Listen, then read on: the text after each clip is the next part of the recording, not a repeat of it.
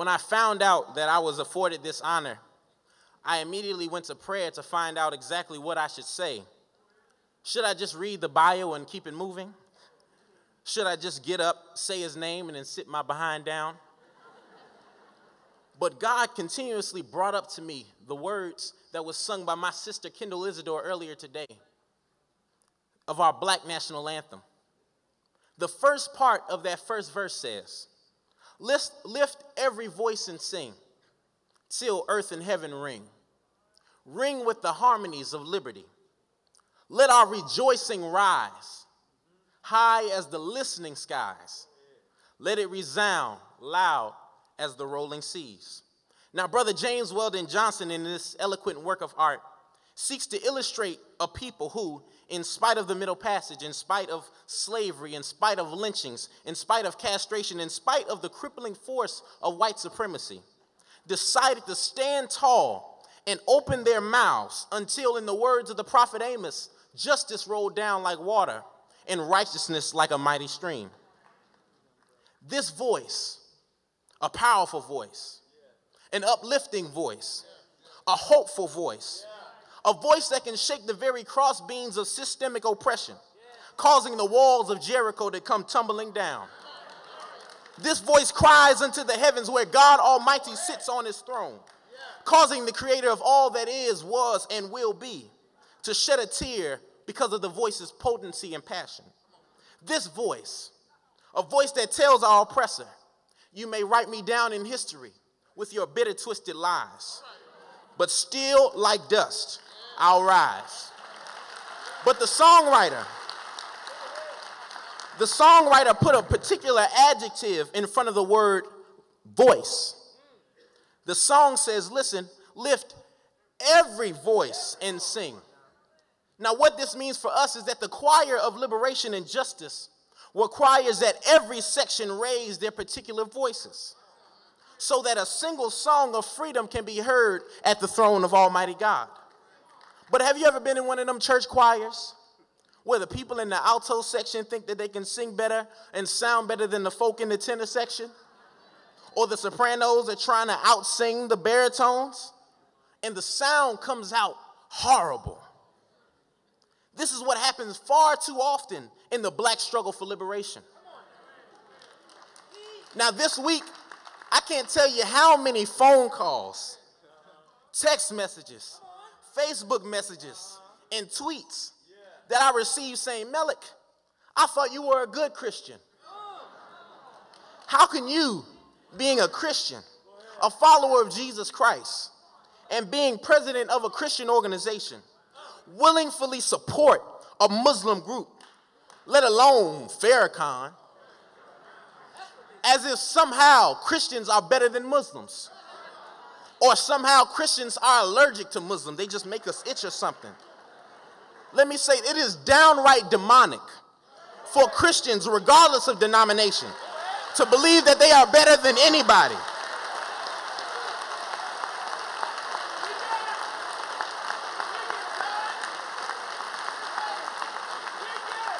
Now, if my memory serves me correctly, the Holy Bible says, For all have sinned and fallen short of the glory of God. You aren't any better because you're a Christian, or because you're a Muslim, or because you're a Jew, or because you're Baptist, or because you're atheist, or you're agnostic, or you're just spiritual. You're not any better.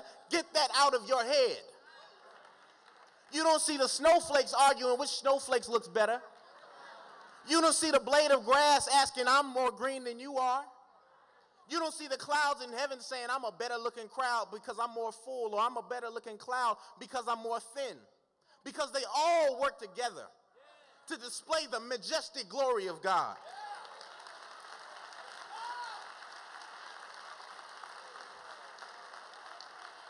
Now, the song of liberation has never been and never will be a solo, but the psalm of freedom and justice is a true symphony of the diversity of God's vastness and omnipresence. And today, we have a voice with us. One of the last great prophetic voices of our time. And he's been going for a long time, over 50 years. In his late 70s, but still going strong. Still speaking truth to power. Throughout the death threats, throughout the people saying that he's a hate monger or that he's anti Semitic or that he's this or that he's that. You know what I call them? I call them liars. But the reason that he's still going strong is because he loves us. He cares for us. He wants to see us do well and prosper. Now, it doesn't matter if you sing a soprano or you sing an alto, or you sing a sinner, or you're a Christian, or you're a Muslim, or you're a Jewish, or you're atheist. We all have a song to sing. So sing a song full of the faith that the dark past has taught us. Sing a song full of the hope that the present has brought us. Facing the rising sun of our new day begun. Let us march on until victory is won. Ladies and gentlemen, let us all receive the Honorable Minister Louis Farrakhan.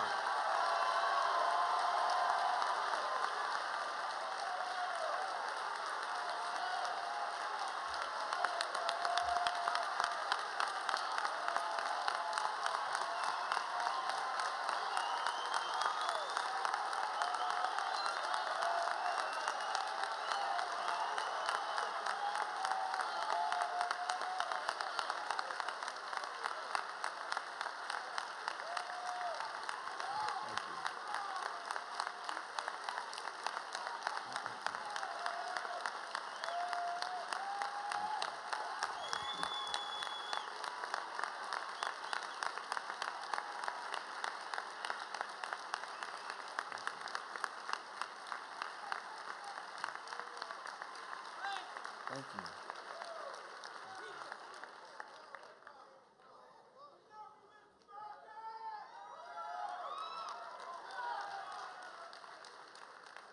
In the name of Allah, the Beneficent, the Merciful, we give him praise and thanks for his mercy and his goodness to all of the members of the human family.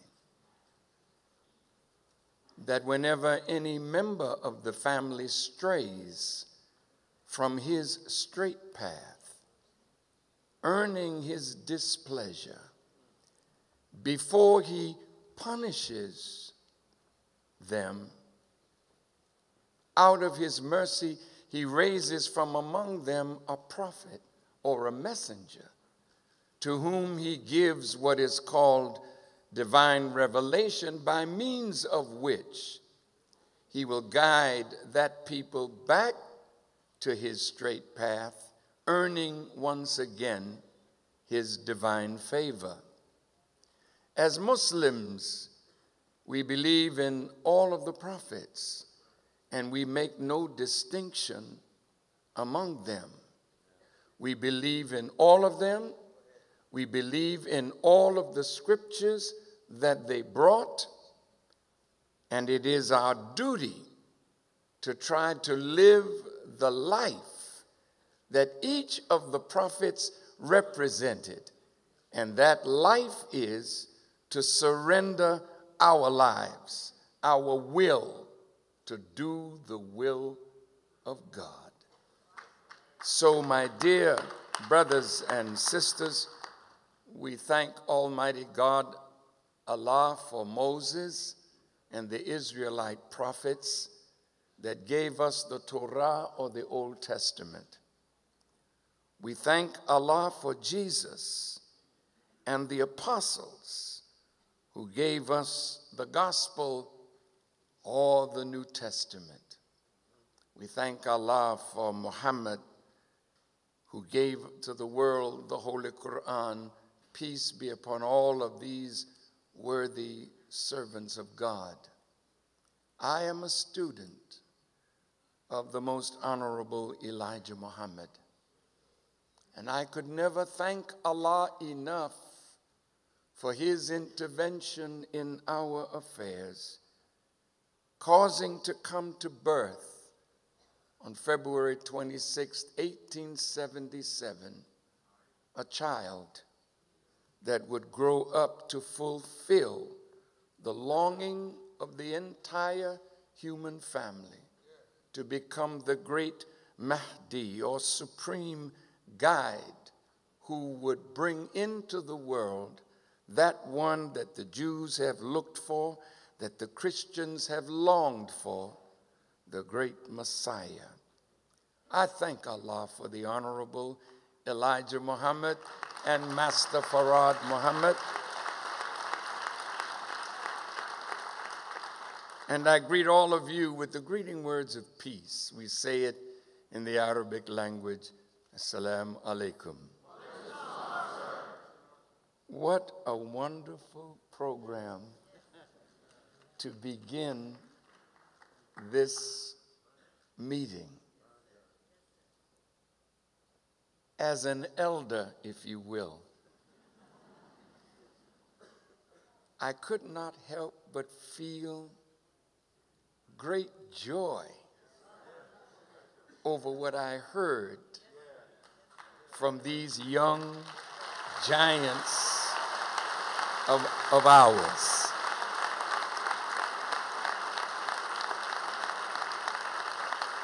I want to thank Brother Malik, the president of Christian Brothers United. What a wonderful introduction. Where's my brother? I didn't see his face. Oh, here he is. Yes, uh, brother, thank you for a wonderful introduction. Brother Brandon Harris, thank you. Brother Jaleel, thank you. My sister that sang the uh, Black National Anthem, where is she? Thank you. Thank you. To the distinguished brothers and sisters who are on the rostrum, to the wonderful student leaders from the various campuses, and to all of the students and faculty of Howard University. I want to thank your wonderful president,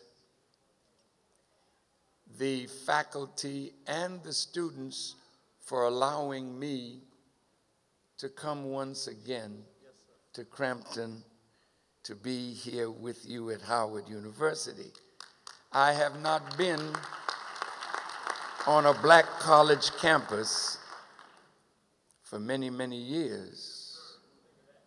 Not because I didn't want to come,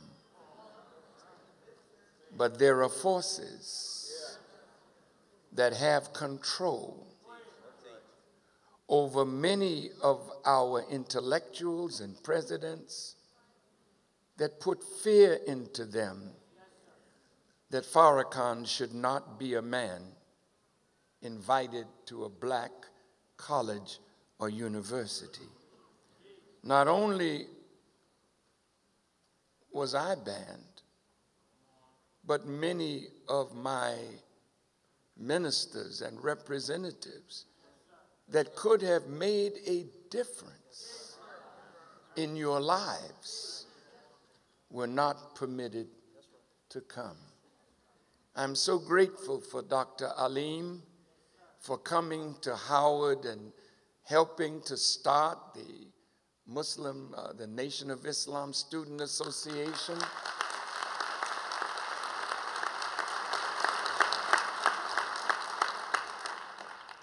and our brother who uh, long graduated, who did such a great job. I haven't seen him in a long time. Brother Michael, he's out of town, not out of pocket. and Brother Jaleel, thank you so much for the work that you are doing. And this probably is one of the sweetest moments that I've had in a long, long time.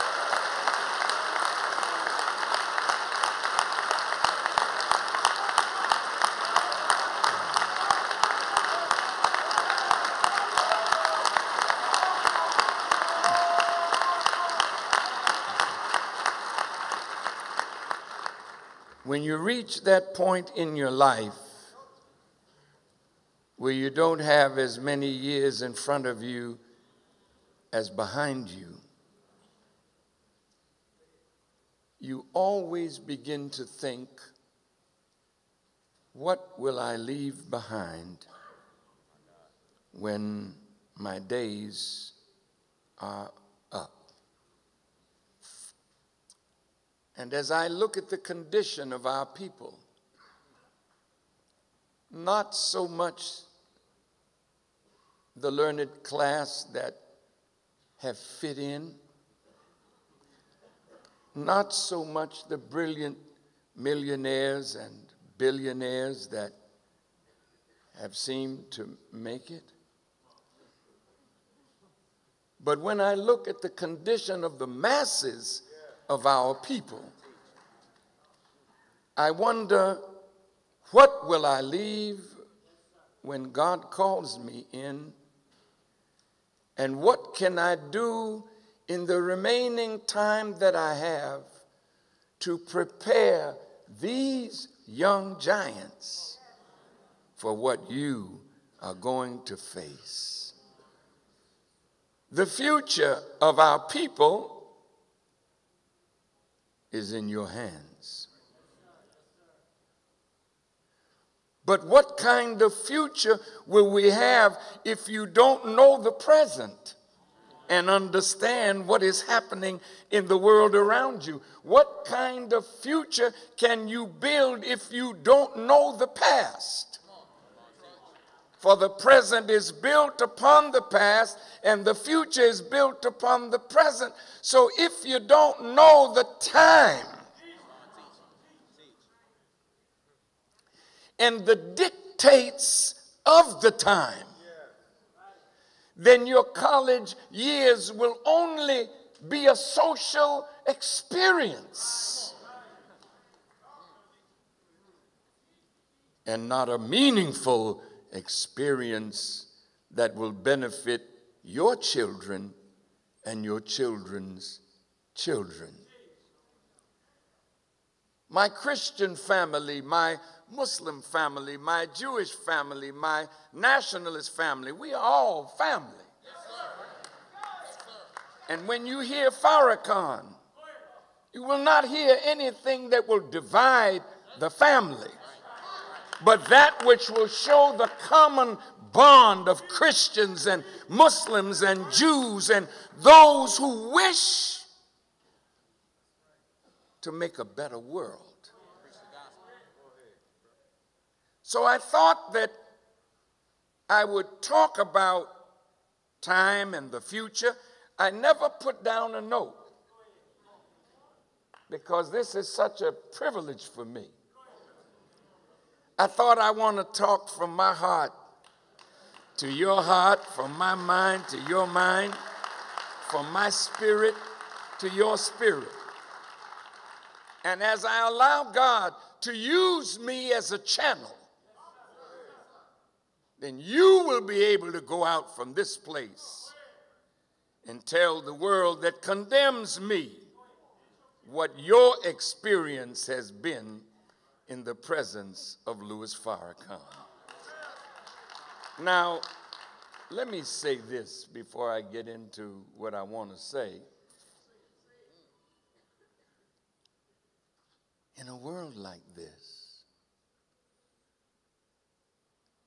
those that can change your mind and help you shape your future have always suffered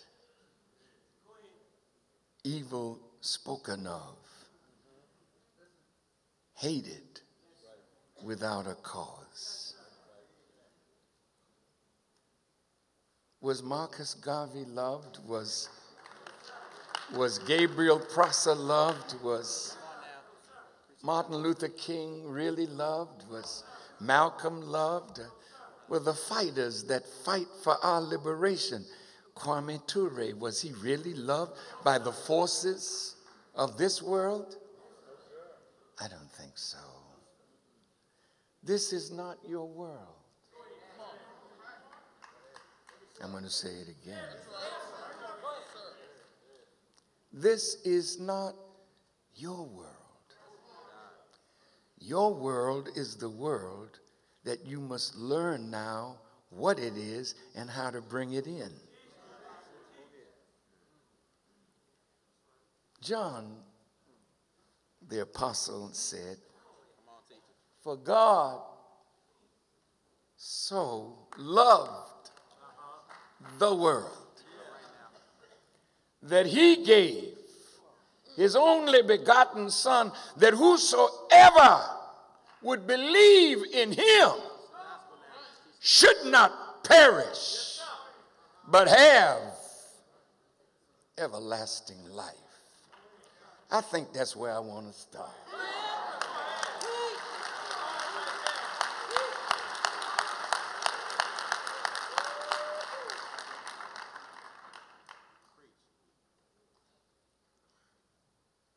God so loved the world, not this world,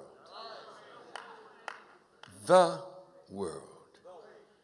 The definite article, the, is telling you about a world that God was so in love with that he would give his only begotten son. What do you mean, give him? Put him among a people that would hate him. Put him among a people that would speak evil of him. Put him among a people that would lie and put him among a people that even though the miracles that he was doing, making the blind see, the deaf hear, the dumb speak, and raising the dead to life, that they would say he was doing that by the power of Beelzebub, a devil. But God loved the world. What world? Not this world. For the book says the love of this world is enmity with God. How could you love a world that has destroyed the future of human beings by destroying their minds and corrupting their soul and their spirit? Talk back to me if you can.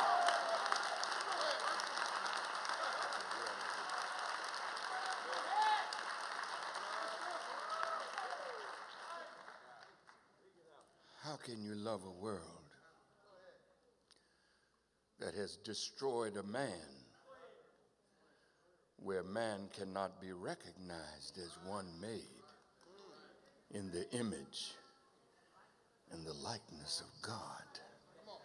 How can you love a world that has destroyed a female and made her a tot, something sweet? Delectable and delicious that men use and play with and throw away because she has not been acquainted with who she really is and what God's purpose is for a female. That's not taught at Howard. That's not taught at Harvard.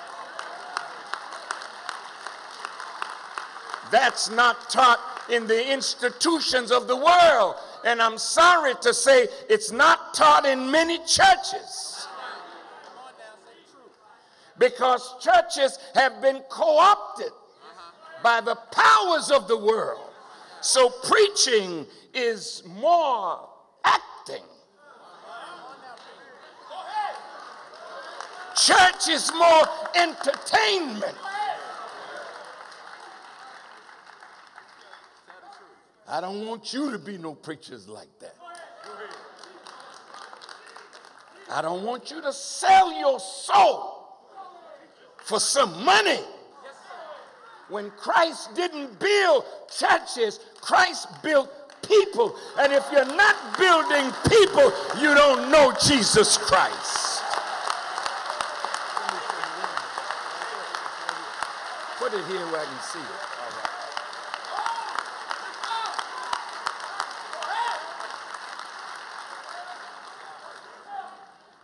God so loved the world that he was bringing in through Jesus. A new world, a better world, where there would be no racism, no sexism, no nationalism, no division of people. For the book says there would be no Jew, no Greek, no male, no female, no bond, no free. All we be, would become one in Christ. Do you know him? I don't know that you do. Because if we knew him, we wouldn't be sexist. If we knew him, we would never be divided by race or color or ethnicity. If we really knew that beautiful message of this messianic figure, all the things that divide human beings would fall away, but then there would be division. What do you mean, division, uh, Farrakhan? See, he so loved the world that he gave his only begotten Son, that whoever would believe in him would not perish. Why, why do you use the word perish? What's going down? That a lot of people are going to perish with a world that God has judged from the beginning as not having permanence in his universe. So Isaiah says, For unto us a child is born, and unto us a son is given, and a government. You didn't hear me a government will be upon his shoulders. And he shall be called wonderful. Oh, really? Counselor. The mighty God. The everlasting Father. And of the increase of his government of peace, there shall be no end.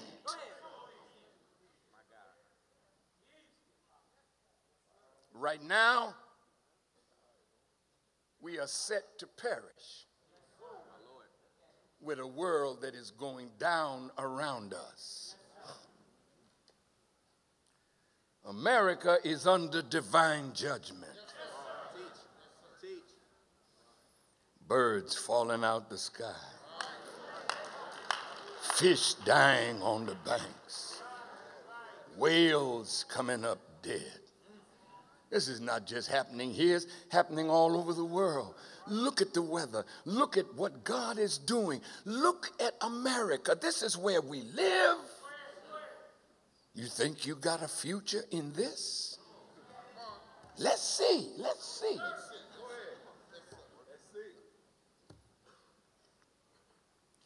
The enemy has told us that if we get a good education, we'll get a job. And with that job, we'll be able to make money. And with that money, we'll be able to afford the good things of life. So some of us got that. Got a little money, got a little Mercedes Benz, nice home. But we're perishing because we are of the world that we're in. See, if, if you really knew Christ, you really knew the one that's bringing in a new world, your talk would be different. Your walk would be different. your dress would be different, your mind would be different. Because the book tells me if you knew Christ, you would become a new creature. You can't be a whole Negro in Christ. You can't be filled with envy and jealousy and this pettiness that keeps us arguing and fighting with one another. You can't be of Christ, a Baptist over here, a Methodist over here, an Episcopalian, a Church of God in Christ, all of you divided. So Paul asked the question Is Christ divided? Well, why are you if he is not? My Muslim brothers may be saying at this time, wow, I thought Farrakhan was a Muslim. He sounds like a Christian. That's because you don't really know nothing about what a Muslim is. Yes, I'm talking to you. See, I know Prophet Muhammad. God made that man a Noah of the Torah, a Noah of the gospel, a Noah of the teachings of the former men of God, so he could bring them all into oneness.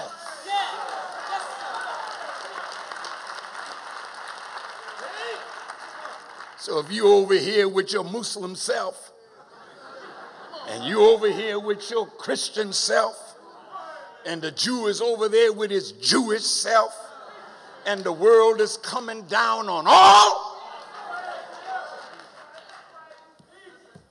You don't know the prophet. You don't know Jesus. You know his name. You know his works.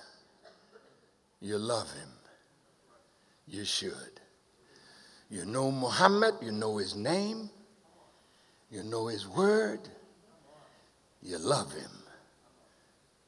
But that's where it ends. The Muslim world is in revolution against itself. The Christian world, the same. The Jewish world, the same. The education of this world is on its way down and out. So you got to know what you are in. Mm-hmm.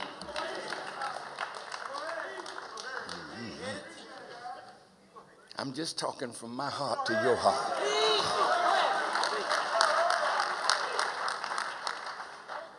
If you think that you're going to graduate from here or wherever you're studying and find a job when God is closing America down,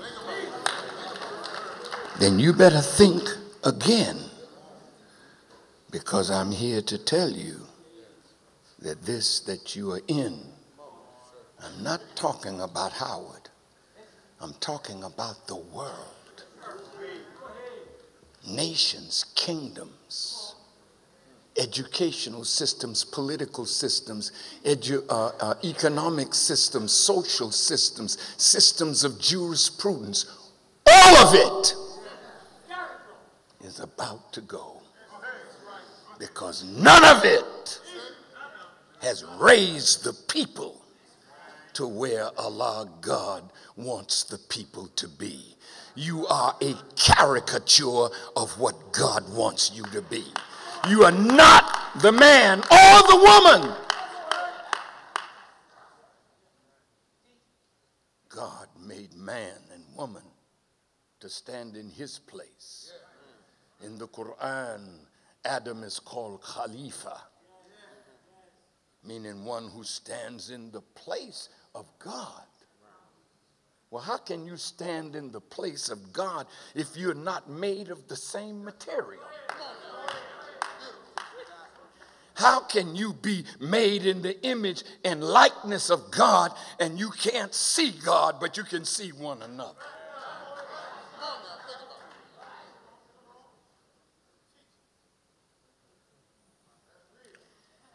The scripture tells me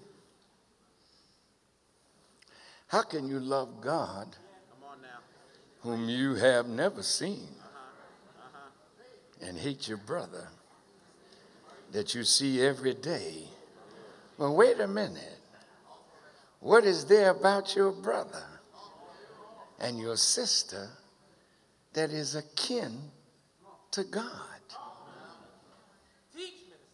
My brother said it right. There's a king in you.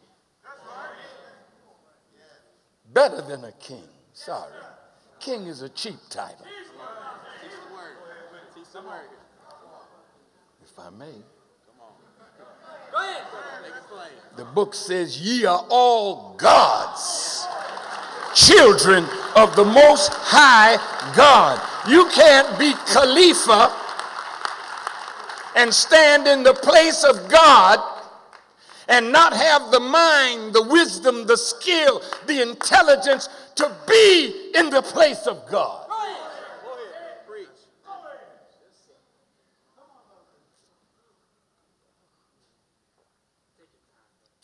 So, the world that is a world that represents everlasting life, the world that is a world that will never see an end, the world that is a world that will bring peace and joy, the world that is a world where there'll be no insanity, no need for hospitals peace will be the order of the day. In the Quran, it is called the hereafter. In the Bible, it is called heaven. You think you got to die to go there? Has anybody ever come back from the grave to tell you how sweet it is on the other side? The Bible tells me that the grave cannot praise God. So don't look to die to bring in God's world. Look to live to bring in his world. But you got to have the right knowledge, the right wisdom, the right understanding, the right power to bring in a world because this world don't go out gracefully.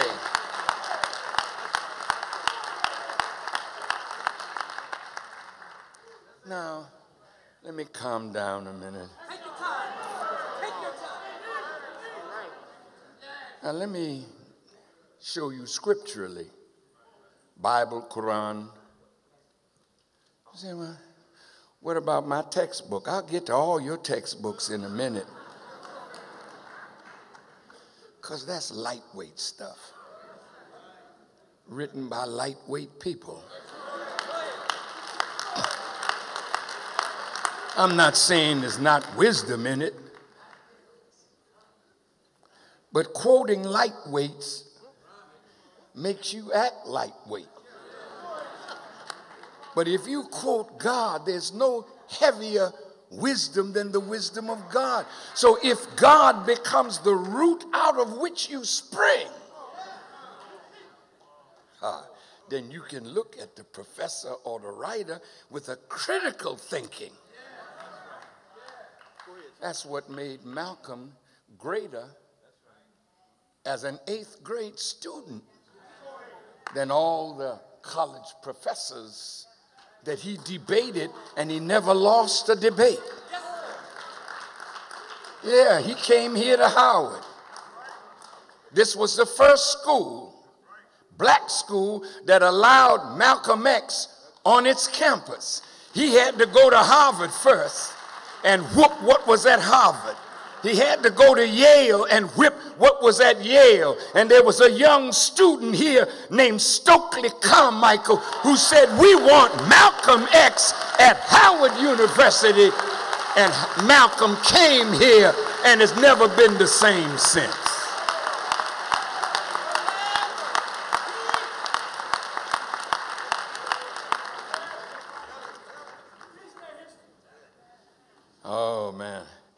Now let me let me uh, switch gears for a moment. Who are you? What is your destiny? What should you be studying to fulfill your destiny? If you believe in the Bible, let me quote it. I'm coming to the Quran in a minute. But the Bible in the book of Genesis,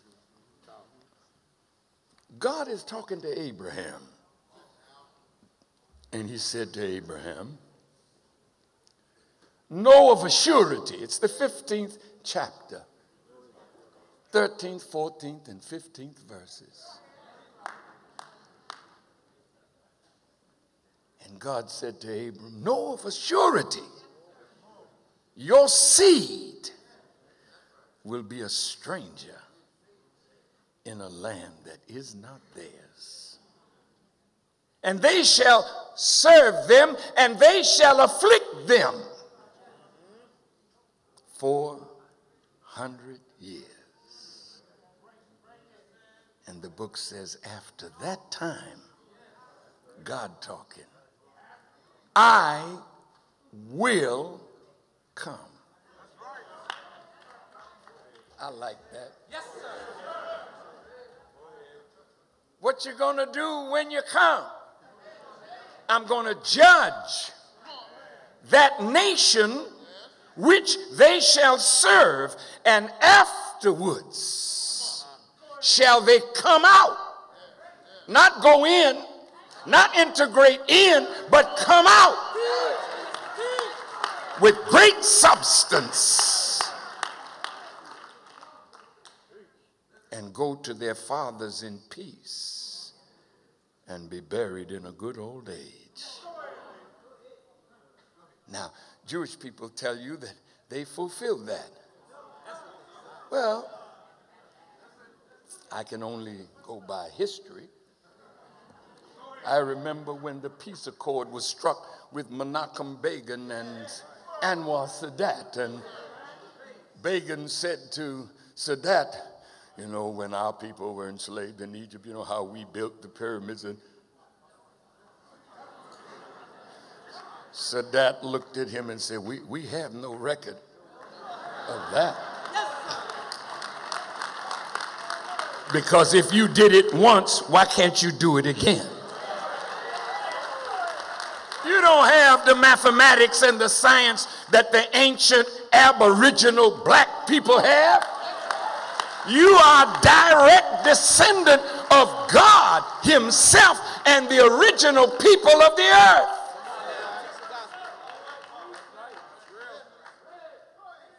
That's why you should kind of hold your head up, throw your shoulder back, and walk heavy on the earth. How dare the white man tell us well, if you don't like it, go back to Africa. Hell, what are you talking about? We know where you came from. We gave you a place. You didn't have one before we gave you one. In fact, you didn't have life before we gave you life.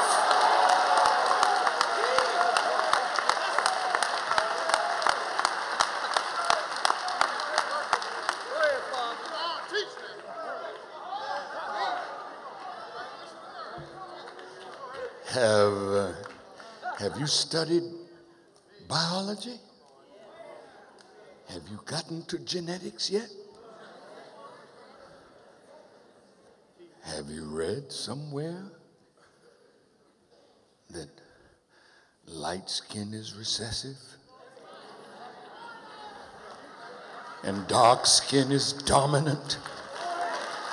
Have you read that light eyes are recessive? And dark eyes are dominant and you can get the recessive from the dominant, but you cannot get the dominant from the recessive. What does that tell you?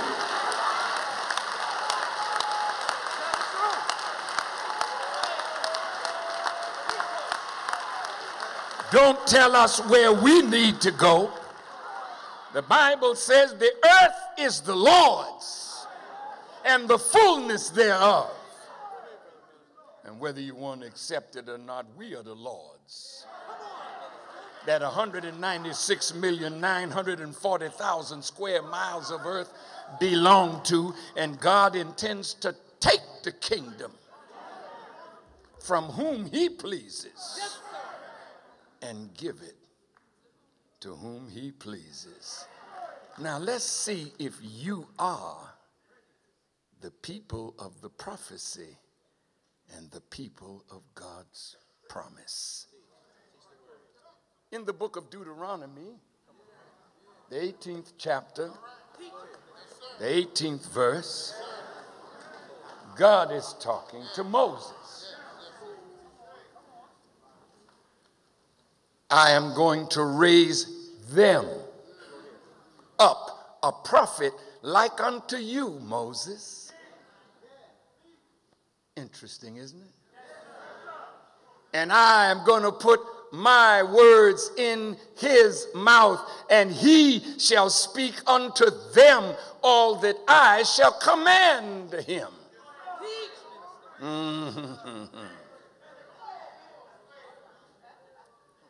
is this them he's talking about?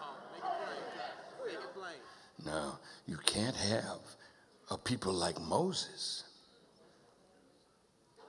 a man like Moses, unless you have a people like the children of Israel. And you can't have a people like the children of Israel unless you have somebody like a Pharaoh. That would put oppression on that people for a period of 400 years or more. I remember when I was in high school, I, I, I, was in my geometry class, and one of the theorems that uh, I had to learn was if side angle side of triangle A is equal to side angle side of triangle B, then these two triangles are said to be congruent. Have you heard something like that? Well, if you, the victims of the transatlantic slave trade, were brought into America on a ship named Jesus. As the Honorable Elijah Muhammad taught us in the year 1555.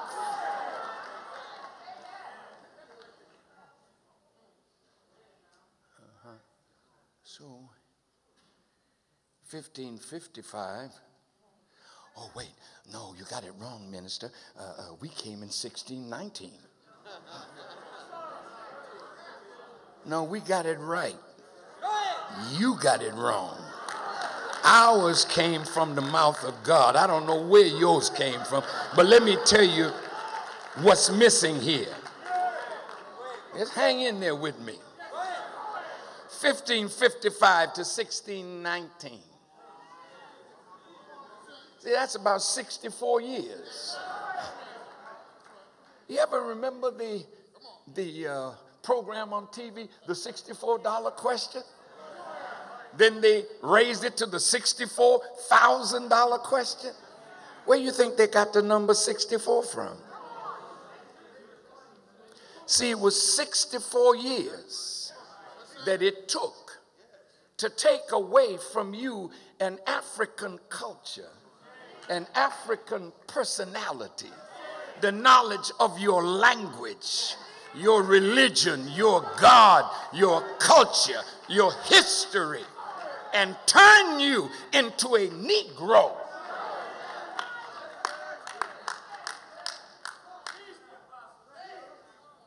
Having eyes, but you really can't see. Having ears that is difficult to hear having a tongue.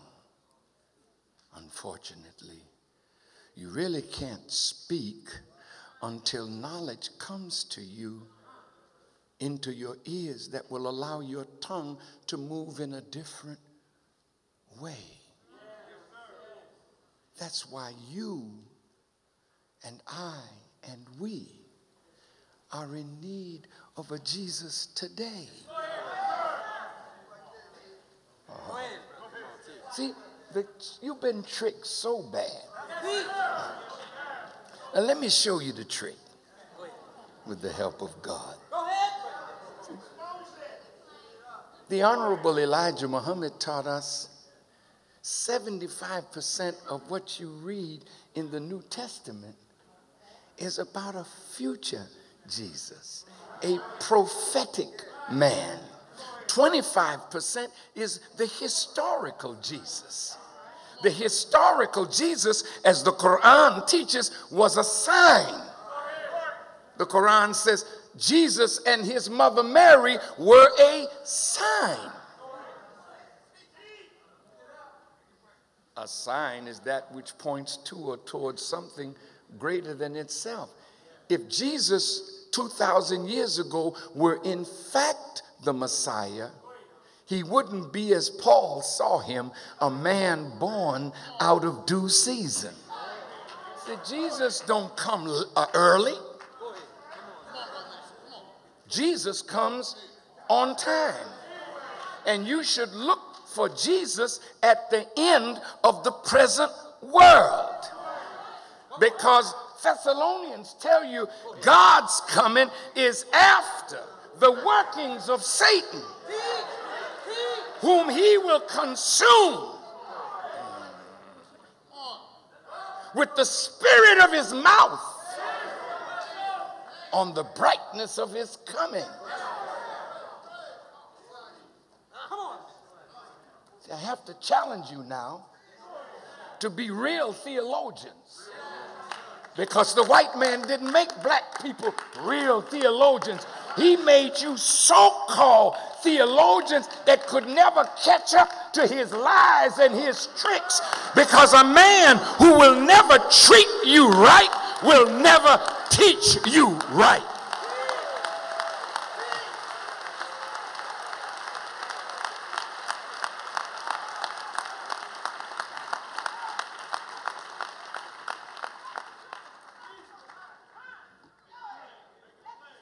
How long have we been in America? 400 and 50 some odd years. 456. Tell me, have any one of these years been good years for you? Have you been afflicted? In this land which was a strange land. Your fathers, your ancestors, when they came, they wanted that ship Jesus to take them back home to their people. There's a scripture that says, you know, how they asked the slaves, you know, dance for me. Are you the dancer today? Sing me one of those songs of Zion. Make me laugh. This is the role that you play. This is how they make you when they see you getting smart. They give you a program on Fox TV and give you a writer that will write foolishness for you to say. So you're a modern Stepin Fetchit in the face of your people, a mockery of yourself in the name of jokes.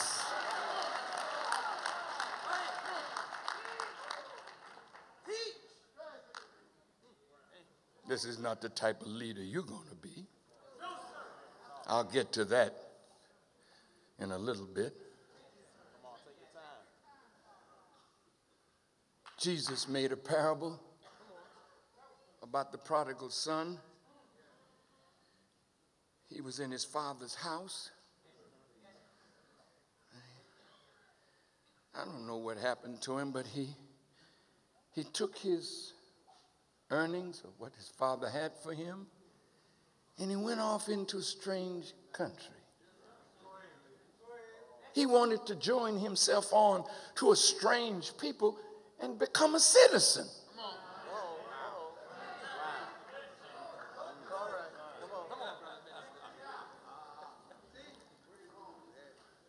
And he fell down in that land. And he ended up husking corn and feeding swine. See, this is how I got in trouble with Rihanna. Let me tell you something. That's my sister. I love my sister. In fact, she's like my daughter. I know Barbados, where she grew up, and I know the Barbadian people. My parents are from the Caribbean. What I'm saying, the enemy will always twist my words to create an enemy for me among the ignorant of my people. But I want to tell you what I said and why I said it. Because you today are feeding swine.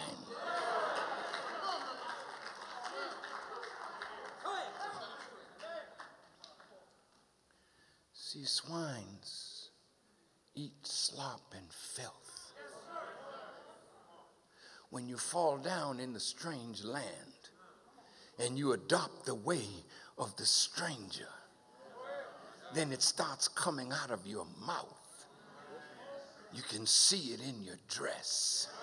You can see it in the way you live your life. You live a life of filth. Talk back to me. See, I'm your brother and your spiritual father. Wait a minute. And I love you. And because I love you, I will give my life for you. And I'm doing that every day that I live. But I want you to hear what I got to say unfiltered through the wicked corporate control, Jewish control, Zionist control media of the United States of America.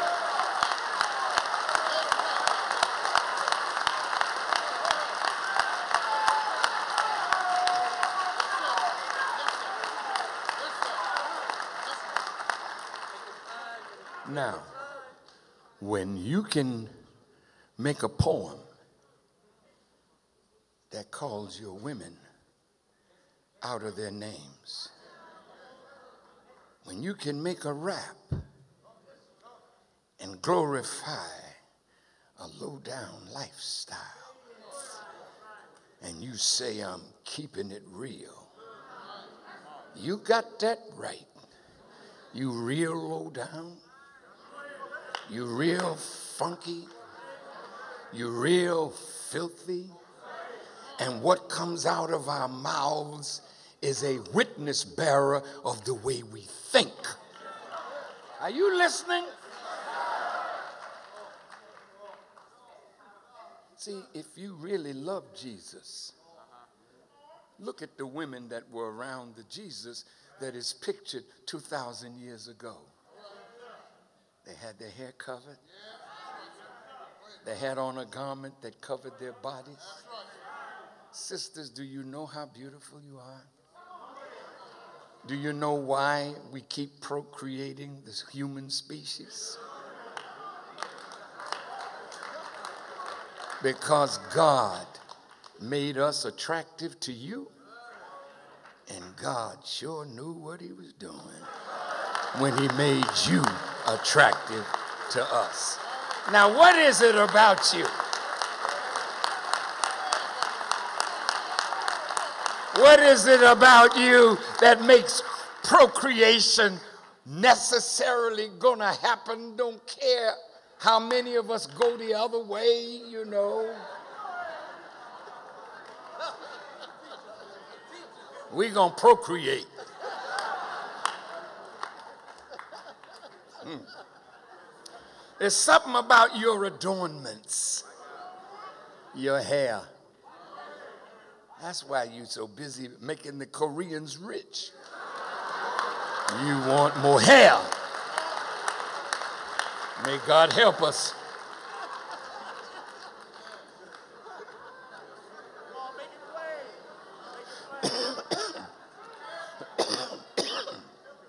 Your bosom. That's an adornment. Men got chests, woman got breasts. And all of us came up on the breast. Can I get a witness?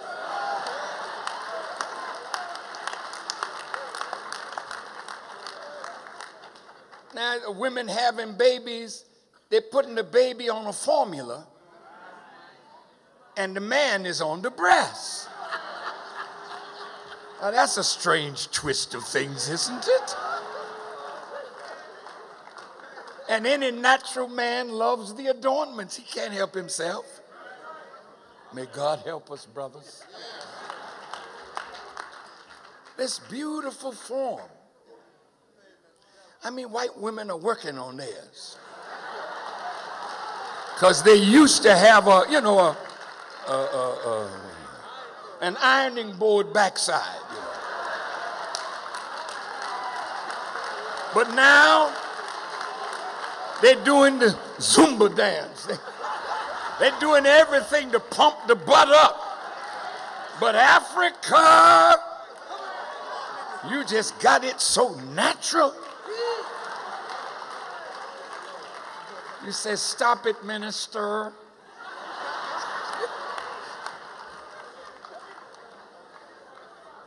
but you also know that that's a point of attraction. You notice how when your sisters get in the mirror, you look.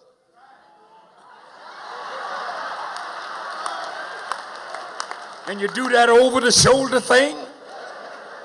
How am I looking back there? Oh, this will sure get his attention. And you got these freaks designing your clothes. Split all up the legs. See, your thighs are very important. Your knees, your legs.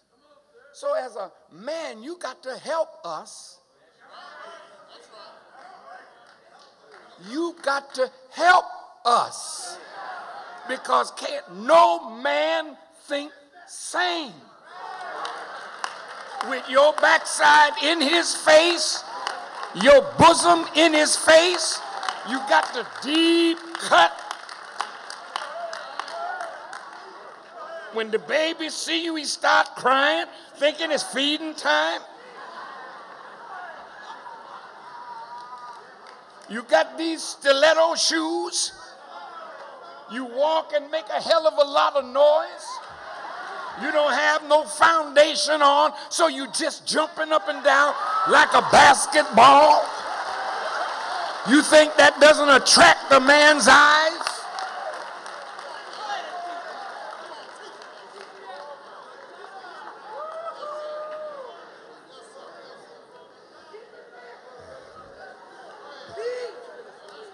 It's Islam 101. Look, look, look sisters, you want a man to love you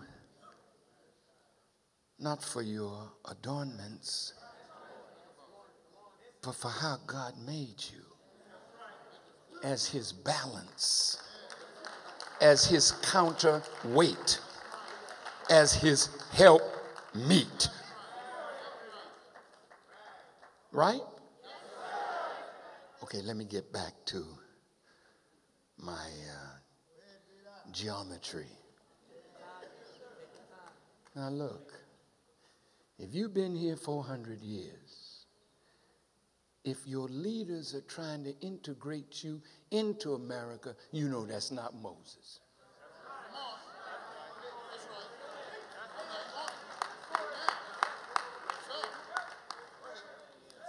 If your leaders are trying to help you to become Americanized. Ain't got nothing to do with Moses or Jesus. If your leaders are promising you that this is the paradise for you because you have 500 or so mayors, few governors, and even a black president. Come on, come on, tell the truth. See, all of this is made to sell you away from your destiny. Now, I'm proud of Brother Barack. I love my brother. But he chose the wrong time in history to be Pharaoh.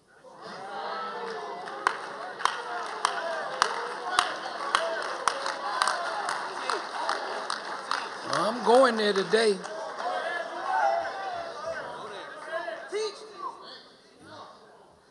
He was selected before he was elected. And the people that selected him knew he was one of the most brilliant among us. He had the right looks, the right color, the right lineage, white and black. I think uh, he would uh, he wouldn't be the Jesse Jackson type or the Al Sharpton type. In other words, he ain't gonna push for what Jesse pushed for, or Sharpton pushed for. He'll be the American president. So you shouldn't look to him to bring you what we can only bring to ourselves with leadership that got both hands in your hands. I'm not against Barack Obama, but I know the time. And I know the wicked forces that are now disappointed in him. See, can I talk real straight? I was going to do it anyway. See, the forces that surround him are not friends. Brother Barack is a constitutional lawyer, brilliant. He came to power at a time when America was in a great economic crisis. Come on, come on. He just followed on the heels of probably the worst president in the history, George W. Bush. George W., a war criminal.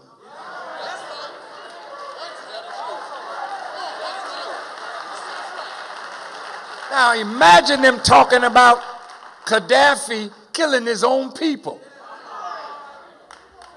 Let me introduce you to a killer of his own people. How did you end up in Iraq? In Afghanistan? Because a lie was told that that man over there had weapons of mass destruction that he would give to some terrorist and they were going to come over here so the stupid Zionist controlled Congress. See, now what I say, I think the brother was talking about you listen to a man's talk, it don't mean you accept it. But hell, if he's telling the truth, this is a college, isn't it? Are you taught critical thinking? Well, then apply it. And if you apply it to me, apply it to him, apply it to everybody that stand up in front of you because the world is being deceived by an arch deceiver.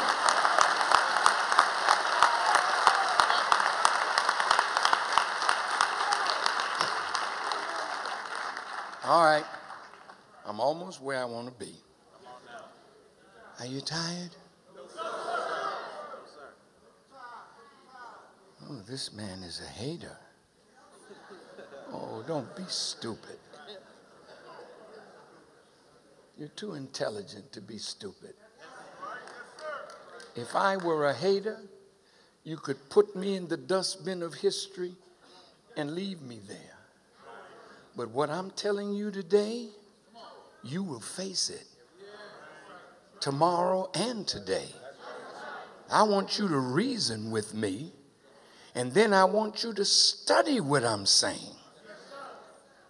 Have you noticed that the Republicans and the Democrats can't agree on nothing? Except when it comes to Israel, and Netanyahu can come over here, you see the leader of the Republican, the leader of the Democrat standing together with Netanyahu. Is that a strange picture? That you can't agree on the welfare of the American people, but you can agree on what is in the best interest of Israel?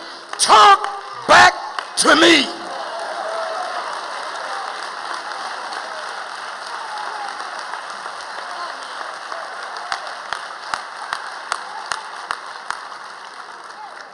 Now, I'd like to draw this to a close. Elijah Muhammad, following on the heels of the Honorable Marcus Garvey. Marcus Garvey knew that our future was not here. Our future was in a land that would be our own. God promised the children of Israel a land of their own. Now, since the earth is the Lord's, well, He can give it, some of it to you, if that's what He desires. Do you think you can build an economic future without land? Come on. Some of you from the deep south, at the turn of the century, our ancestors had millions of acres of land in the south. Today, we hardly have anything left. So, through schemes, tax schemes, legal maneuvers, and our hatred for being sharecroppers and getting out of the South and want nothing to do with farming ever again, we let the land go. So they got it now. And here we are learning how to eat better food but with no land of our own to produce it. Learning, listen, learning about economic development, but not having land as the basis of all economic development. I was on the radio last night with my dear brother Askia Muhammad, and Askia asked me a question. He said, Many of our black intellectuals are upset because they want to know why you're putting out a book called The Secret Relationship Between Blacks and Jews that is harming a relationship between us and our allies. No, that's a good question. I don't know whether you ever read The Prince by Machiavelli. I read it years and years and years ago. But Machiavelli said you have to be careful of who you want to coalesce and become allies with. Because if you're not careful and you unite from a position of weakness, then the strength of that which you're allied with will take you over.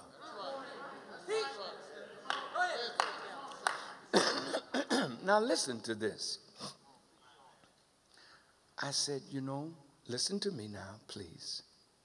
There is no black millionaire or billionaire who has achieved that wealth without the help of some members of the Jewish community. That's real. There would be no Jay Z. it would be no Russell Simmons. None of our black entrepreneurs that have become successful could be that without pointing to a Jewish friend.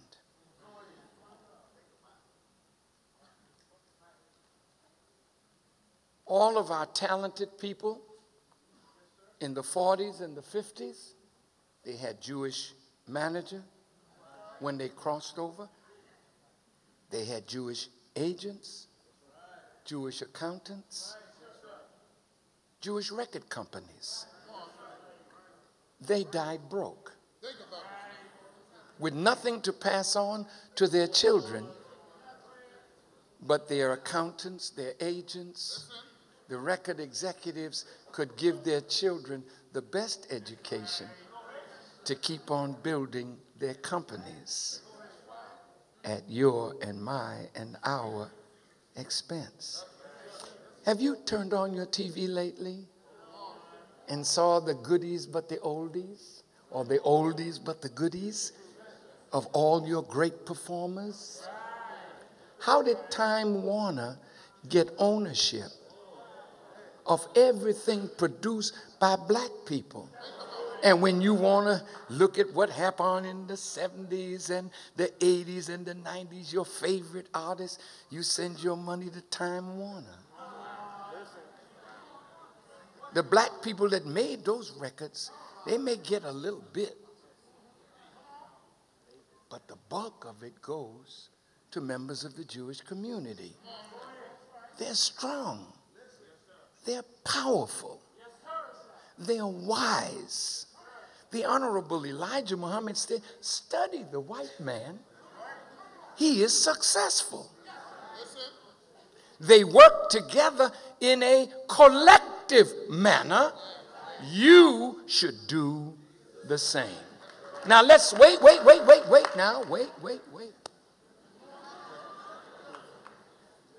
Let's talk about our allies. Did you know that when the NAACP was created over 100 years ago, the founding fathers of it were mainly Jewish, with E.B. Du Bois and Ralph Bunche and a few others. Did you know that for at least 40 years or more, 50 years, maybe 60 or 70 years, there never was a black president. All the blacks that stood in front of you and me were executive secretaries. Roy Wilkins was the last, I think, great executive secretary. But after that, we had uh, black presidents.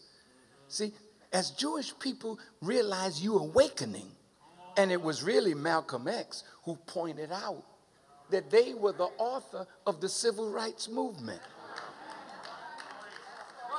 They were the author of CORE and SNCC and SCLC. All, oh, we, we black folk wanted to see our people free.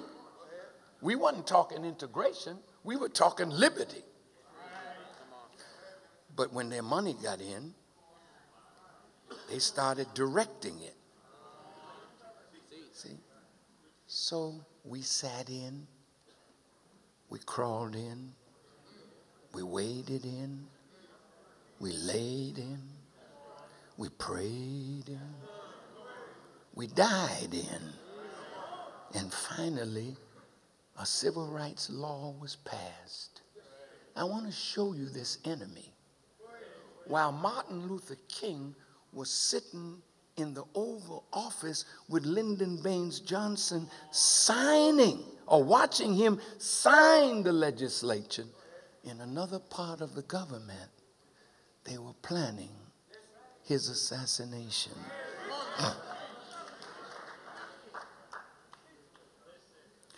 Martin Luther King was more than I have a dream.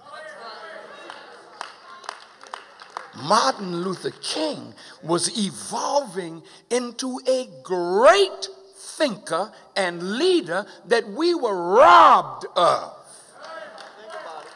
They hated him, but now they can give you thoroughfares. See, they kill your man, then call him, uh, this is John, uh, I mean, this is Martin Luther King Boulevard. That's very nice.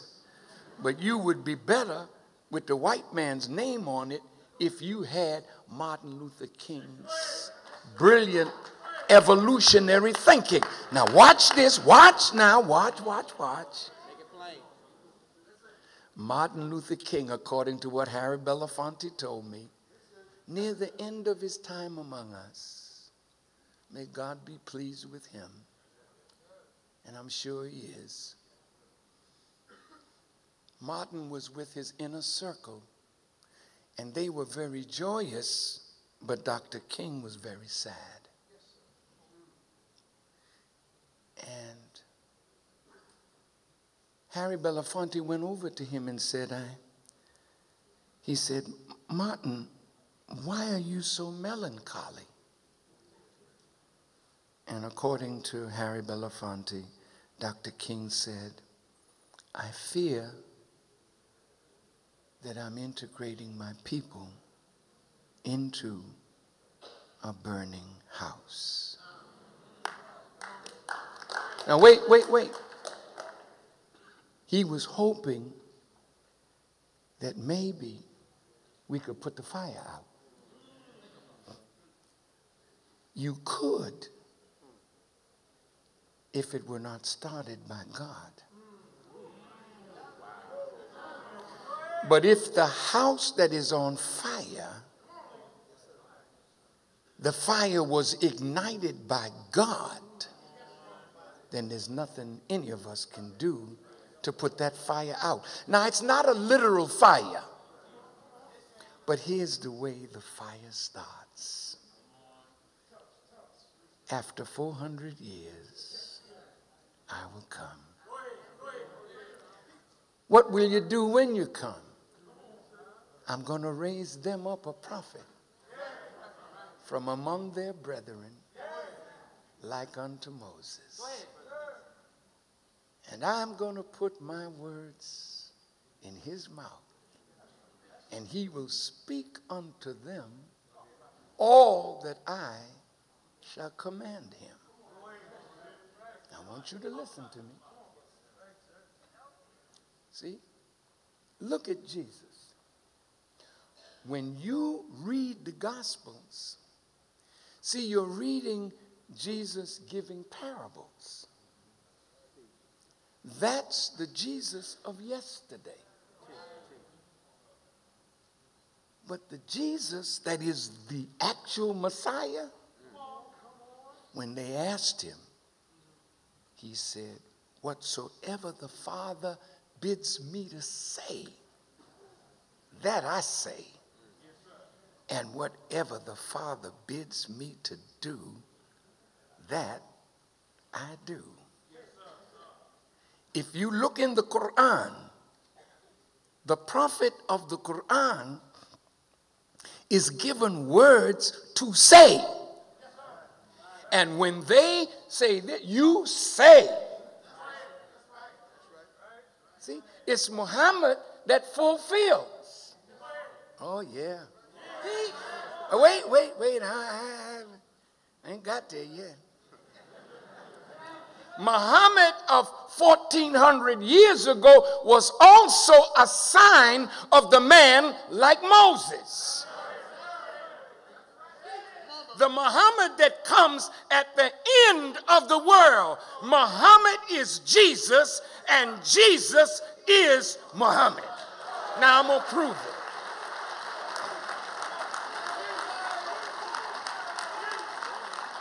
Now you don't have to study.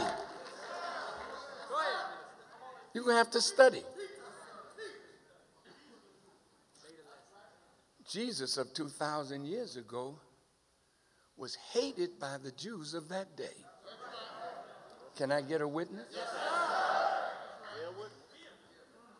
Yeah, yeah, yeah. And uh, your Jesus is hated by them too.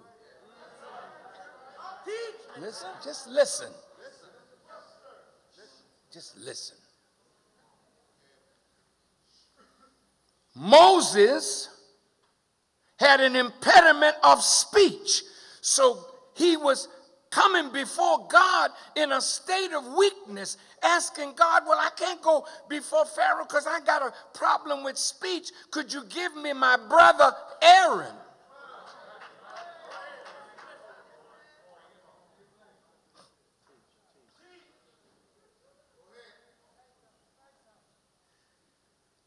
And God said, Okay, but who made your mouth? Don't worry about how you speak. I made your mouth. But I'm giving you Aaron, but I'm giving it to him to you for another purpose, not out of your weakness, thinking you need him, but out of my love for you and the people. I'm giving you a person that you will be to him as a God. And he will be to you as your prophet to the people. Now look, you either gonna fulfill it or the Bible and the Quran don't mean nothing. It's not a book for yesterday. It's a book that's being fulfilled right in front of your face.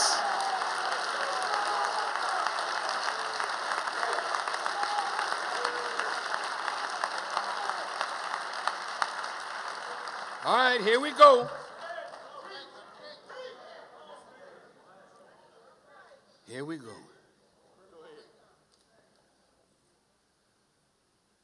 The Quran in the 20th surah says it a little different. Moses is praying for a helper. And he says, Oh Allah, grant me a helper, an aider from my family. Hmm. that and remove the knot from my tongue that they may understand my words and expand for me my breast. See? If you notice, Jesus in the beginning, it was a very narrow assignment. Go ye not in the way of the Samaritans, but go ye to the lost sheep of the house of Israel. This is why I'm in trouble today. Because the house of Israel is what you're living in. It represents the entire white race. And you are their children, the children of Israel. Now let's prove it.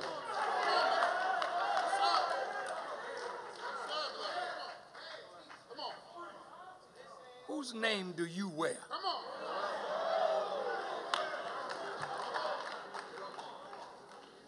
Is it your father's name or white folks' name? Johnson, Jones, Smith, Brown, Green, Crow, Buzzard, Flea, Fly. See, the white man was named after the creatures of God. You are from God and should wear the names of God but you got your slave master's name. Who made you a Christian? No, no, no. Let's look at it. For 300 years, the Bible was locked against black people.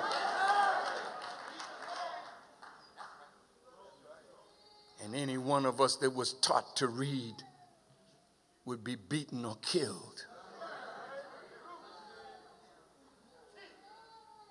Oh, I'm sorry, baby. I meant to wake up your parents.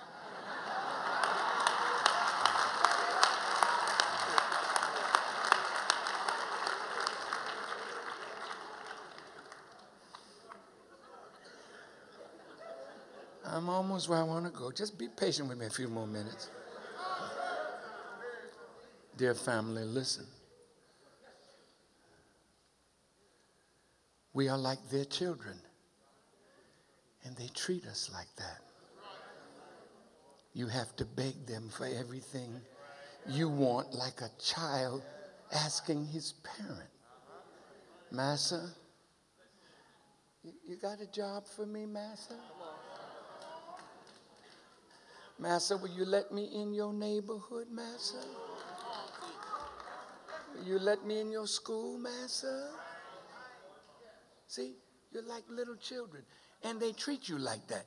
Well, wait a minute. The president ain't like no little child. Stop it. I'm going to show you what they think about you. Here's the president of the United States. He makes a statement about people losing their homes and whatnot, gambling. And then his flight, his plane stops in Las Vegas and the little Jewish mayor wouldn't even come out to greet him. How you gonna greet a nigger president? Yes, I use the word because that's the way they think. You're nothing to them. Nothing to them.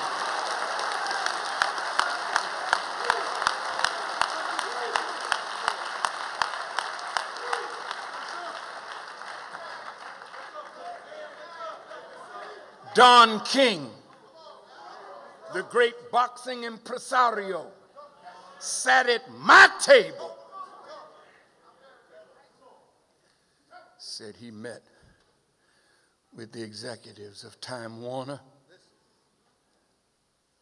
and they told him, You are a flea, and we are an elephant, and we will crush you. You see many fights now that Don is producing.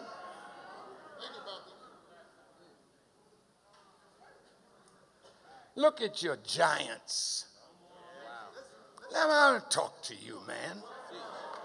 You're going to be the future leaders, but you can't be no punk and lead our people.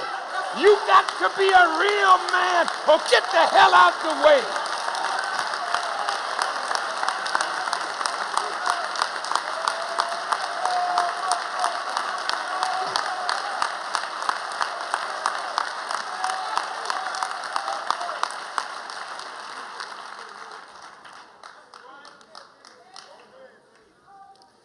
go along to get along, Negro. Afraid to speak up, afraid to stand up for people that are dying in the street because their leaders are liars and thieves and robbers. That's why Jesus said, All that came before me were thieves and robbers, sucked the life out of you and give you nothing in return. Yeah, I'm talking about it.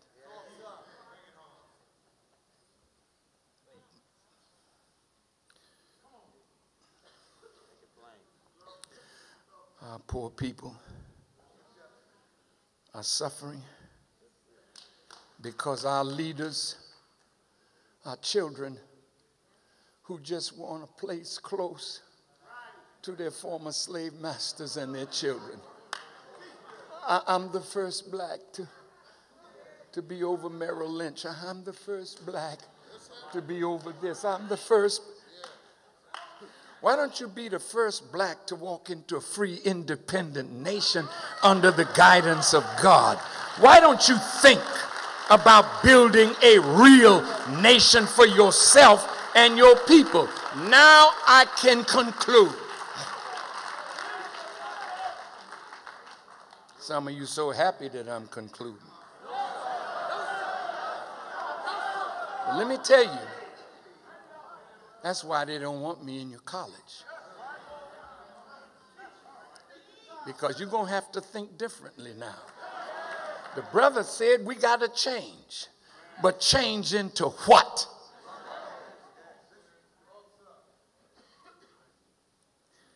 Look, Pharaoh was rich.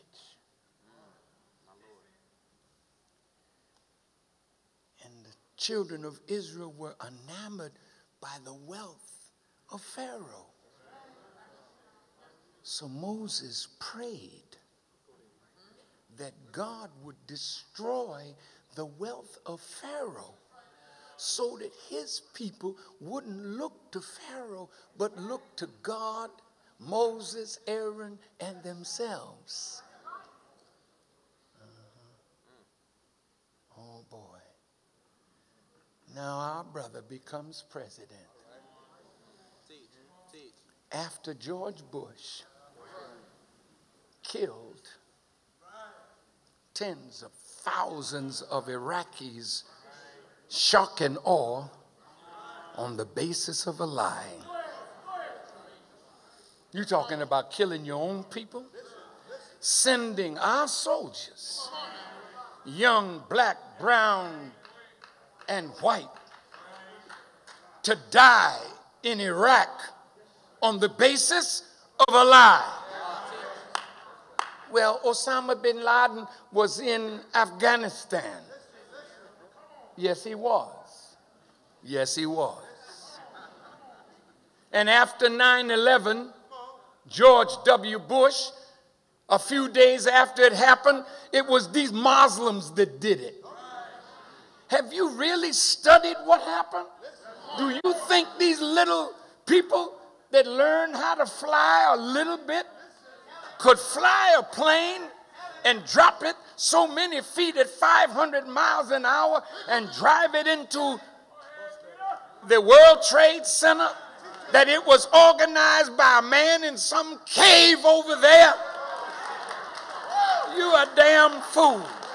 And you allowed this enemy to deceive you while this was to their political advantage.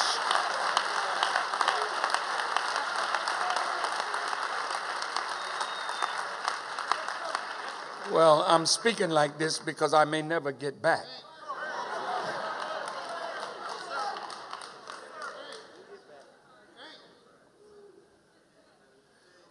The forces are very angry with me, and I understand it. He brings around him all the Wall Street crowd from Goldman Sachs. See, you socializing, you boogieing, you partying. I know you. You focus a little on your studies, but a lot on the girl you studying. And the open knee rather than the open book. Reefer smoking and acting a fool. We know you. That's why your brothers and sisters say, we got to change. This is a serious world out there that you're going to face. In leaving you, let me tell you what you're going to face.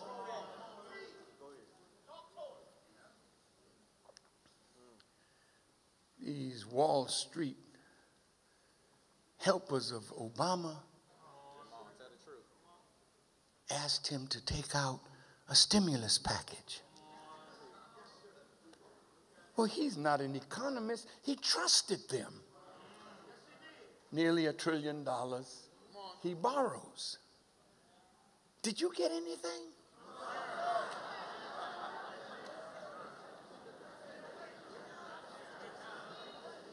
Did small businesses get any loans from the banks? Did the people whose houses are in foreclosure get any help? did the infrastructure get rebuilt? Oh. What happened to George Bush's stimulus package of nearly 800 billion? You don't even know where that went. Nobody saying nothing, nobody asking. But all of a sudden, our brother is the guilty party for putting America in debt. See, if you don't study, you cannot defend him. If you don't study, you can't help him. America went into debt starting in 1913. She was only a billion dollars in debt in 1913, and in less than 100 years, she's $56 trillion in debt. How did that happen? Did Brother Barack do that? In 1913, some bankers, Jewish and Gentile, met on Jekyll Island off the coast of Georgia. And they developed what would later become the Federal Reserve Act, which was passed in Congress December the 26th, 1913.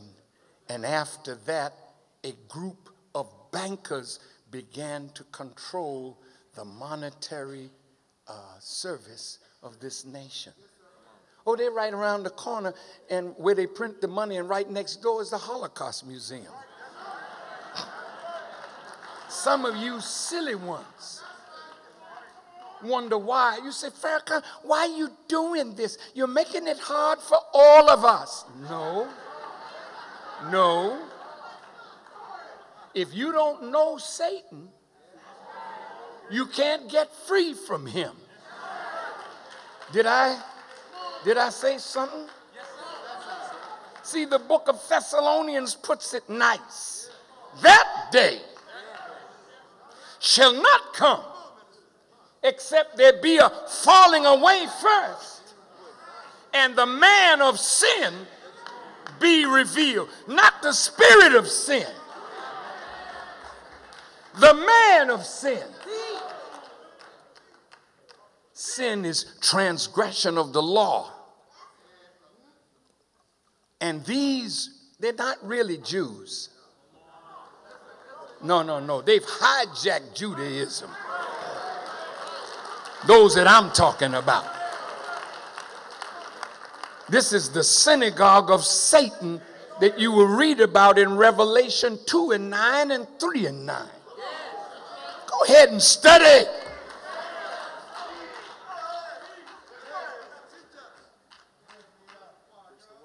They print your money.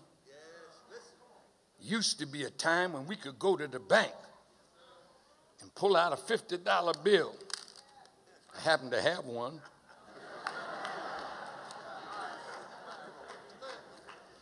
Mr. Grant's face is on it. But it says Federal Reserve Note. But when I was a young boy, it used to be called a silver certificate. That you could take it to the bank, this is paper, and get in return real money, silver. Take it to the bank now. See, that you're being tricked every day. Bring your dollars or your old gold, and we will give you paper. Soon you'll be wiping your backside with paper because real money don't exist. America is broke.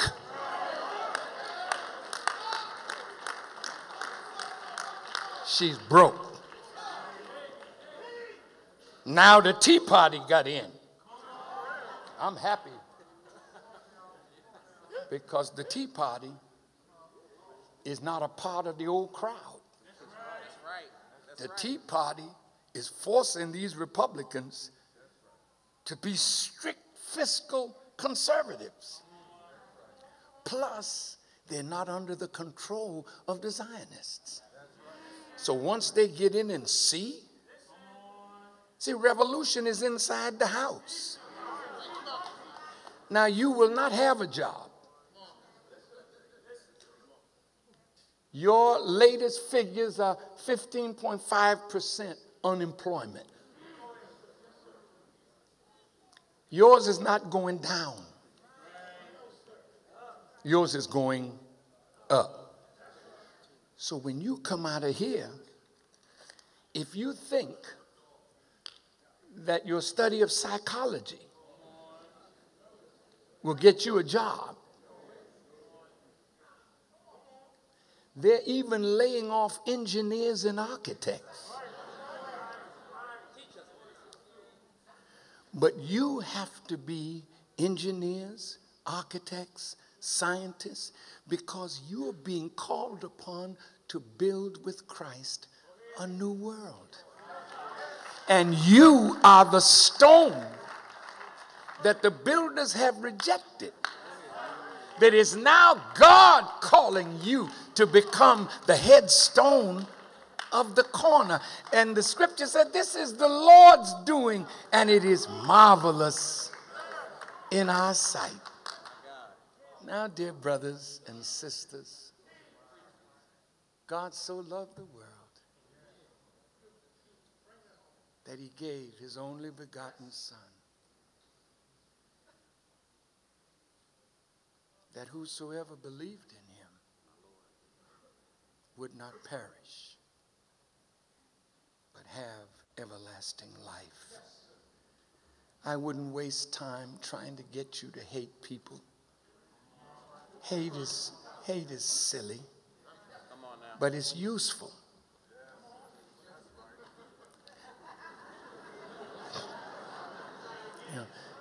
God don't love everybody. He killed a lot of people. You agree? Why did I say hate is useful? Because when we learn the secret of the identity of our oppressor, we were filled with anger and hate. What? These people tricked us like that?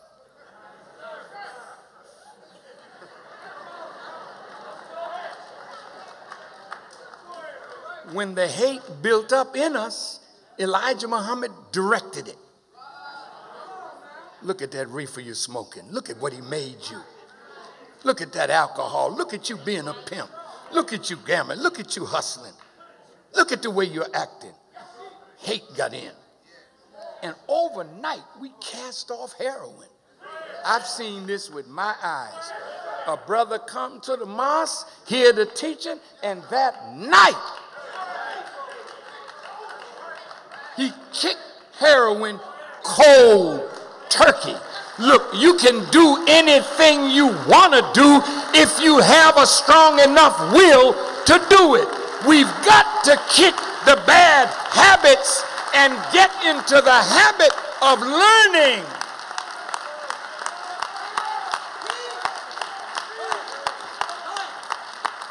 Now, see, they call me anti Semitic. Isn't that something? I've never harmed one Jewish person in my life, and I don't advocate nothing like that. But I can tell you what anti black is.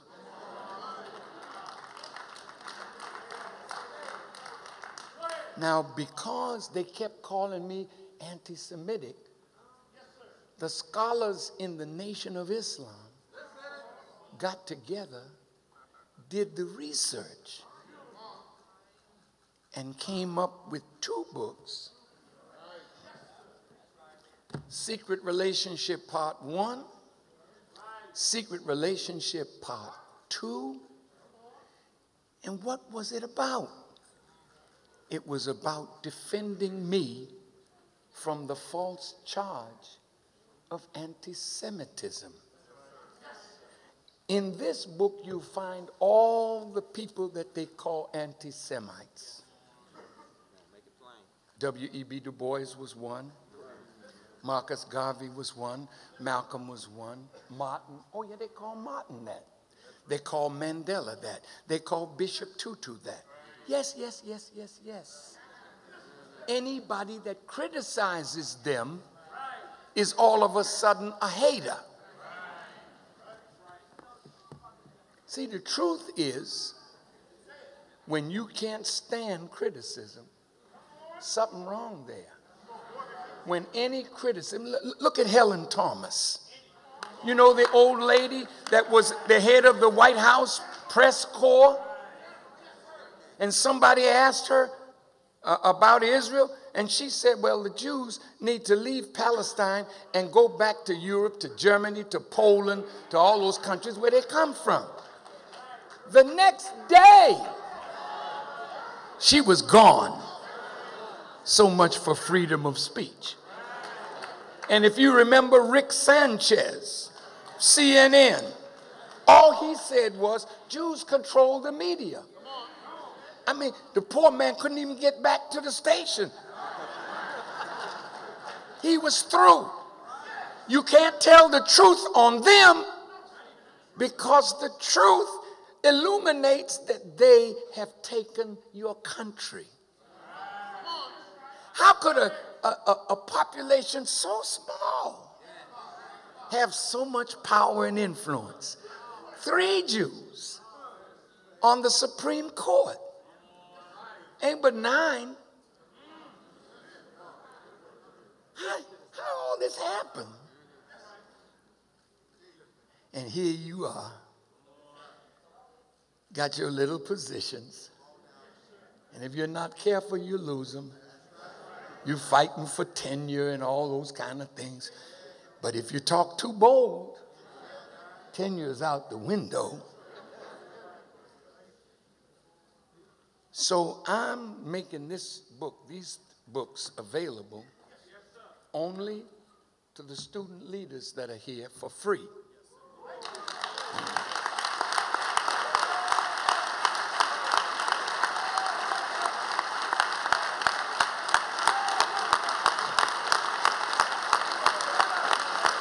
Brother Brandon, Brother Jaleel, they know all the student leaders. You get this free. And my lecture today on DVD to all the student leaders, free. It's really not free. I'm paying for it. And by the way, you know, the minister paid his way here. The minister didn't ask for no honorarium. My honorarium was seeing you and talking to you.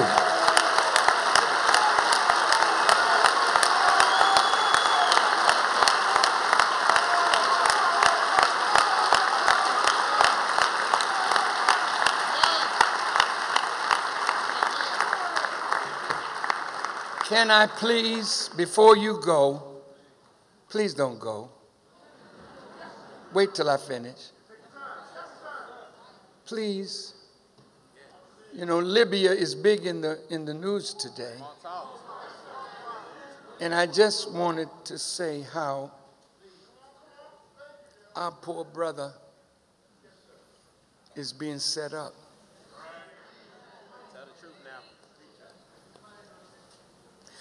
You know, it's terrible when you know Satan and you know your people don't. And they hate you for exposing them. I'm exposing them at the cost of my life. But I don't care to live if you can't be free. Listen to me good. My life is for the truth. And I know it's only the truth that will set you free. Poor brother. Gaddafi has been a revolutionary. And you know what a revolutionary is? A person who will not submit to Western control of their country and sucking the resources of that country for Western interests. Now, you need, I want you to get uh, my press conference and I want you to look at your CIA. See, these are wicked people. I heard um, the rich man, Trump. Oh, he's a gangster. He's a gangster. I heard him say that if we get out of Iraq, the Iranians are going to come in and take the oil. So we should go in and take it. That's a gangster. I heard him talking about what they're going to do to China. He's talking to the cheap seats in the audience because he wants to get elected. But then he said, when Gaddafi came to America, all Gaddafi wanted to do is rent some land where he could put up his tent. And Donald Trump said, Yeah, I took his money. And I never was intending for him to set up his tent. I took his money and I gave it to charity. See, that's a thief, a robber, and a liar. Now, that's the kind of people that's been leading you. Our brother, Barack, absolutely had a moral conscience when he went to Washington. He's really good. But he's swallowed up now by forces.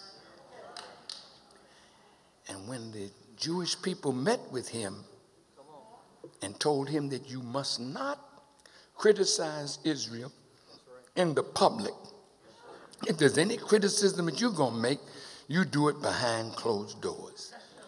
And he told them, according to what I read, that uh, George Bush gave you everything you wanted and you got nothing. He was trying to really get peace between the Israelis and the Palestinians. He was begging them not to put any more settlements on the West Bank. Listen to this and made a secret deal. A secret deal that if they would just let it go for 30 to 90 more days, I will allow this and I will give you this, talking about money, and permission to build settlements. Then the Jews brought it out in the public. Did you know? I saw it on a crawl line today Hillary Clinton pushed him to do this with Libya.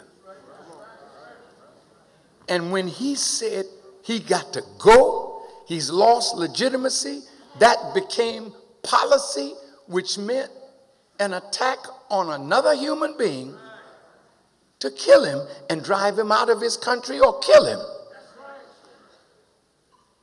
Now, that wasn't Barack.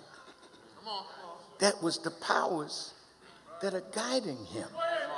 See, and what white folk do, see, they, oh, I wish I had time. Oh, look, have you read that scripture in the Bible about the tree in the midst of the garden that we were not supposed to eat from? The tree of the knowledge of good and evil. Trees don't have knowledge. It's a man, a human being whose nature is evil, but he has the knowledge of good. So he can slide up next to you in the nature of your goodness and trick you in good with an evil intention under it. That's the master deceiver. And look at this. There's a humanitarian crisis over there. This man is going to kill 700,000 people in Benghazi. We've got to save them. See the noble motive? But do they really want to save people or do they want oil? You got to think, man. So our brother went all the way out and the, government is totally confused and divided.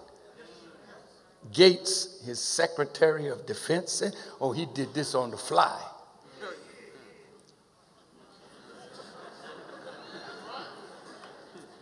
You don't do war on the fly. You plan. Now Gaddafi's kicking all their butts. And they are absolutely upset. America not winning no war in Libya. She's not winning another war, and she hasn't won one.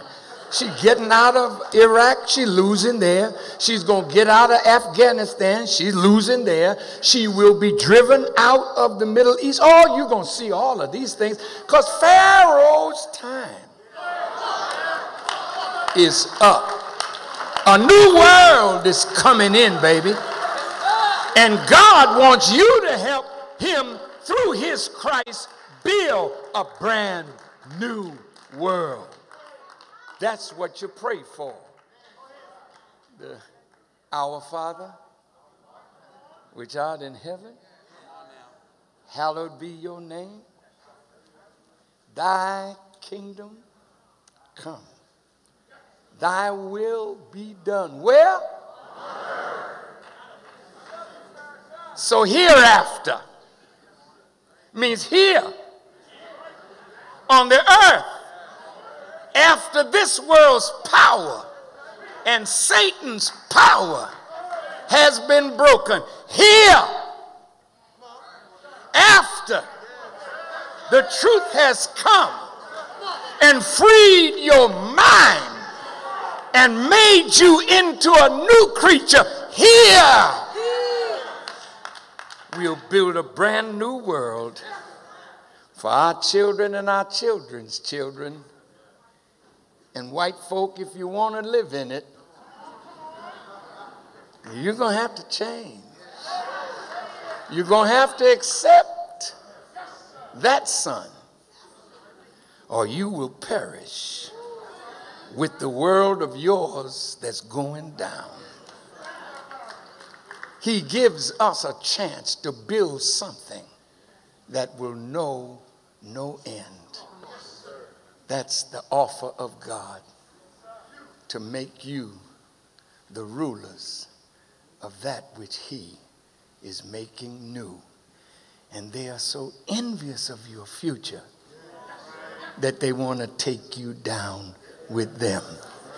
And that's why they undress their woman and sic her on you, brothers. And very difficult for you to resist. See, you like Samson, she's Delilah. She has found the source of your strength and solved your riddle. You, you better come on home to this beautiful black woman of yours and love her like you want to be loved. Find the path of brotherly love and unity and spread this gospel to all black students. We got a world to build. Let's get busy and do it. Thank you for listening, and may Allah bless you as I greet you in peace. Assalamu alaikum.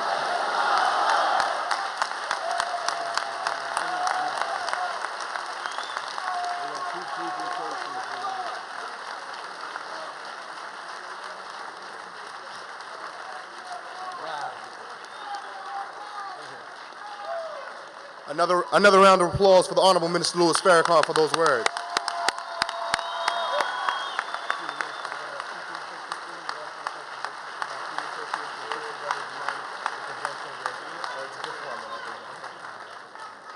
Brother Jalil Muhammad, on behalf of the, the, coordinator of the Nation of Islam Student Association, Brother Brandon Harris from the Howard University Student Association, and Brother Melik Thomas, on behalf of Christian Brothers United, have a presentation for the Honorable Minister Farrakhan. In addition to those organizations, Sister Dana from